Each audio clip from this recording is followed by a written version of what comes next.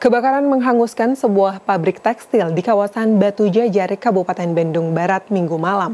Beruntung tidak ada korban jiwa dalam peristiwa ini, namun api merembet ke bangunan sekolah yang berada di samping pabrik.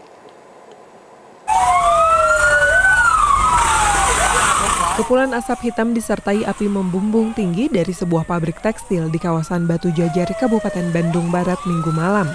Menurut seorang saksi, kejadian bermula saat karyawan sedang istirahat. Api kemudian muncul tiba-tiba dari kain yang terbakar lalu merambat hingga membuat kebakaran membesar. Api yang berkobar sempat merembet ke bangunan sekolah yang berada di samping pabrik. Setengah delapanan. Setengah delapan waktu hewan waktu istirahat dan istirahat itu pada lagi di luar. Ada api kecil dari bawah dari apa? Kayak benang dari benang ada kecil kecil nggak ketahuan awalnya dari satpam udah satpam yang membesar ya udah karyawan nggak boleh masuk lagi obat yuk Puluhan petugas pemadam kebakaran yang tiba di lokasi langsung memadamkan kobaran api. Hingga minggu malam, petugas pemadam kebakaran masih berjibaku memadamkan kobaran api. Tresna Pamungkas, Kabupaten Bandung Barat.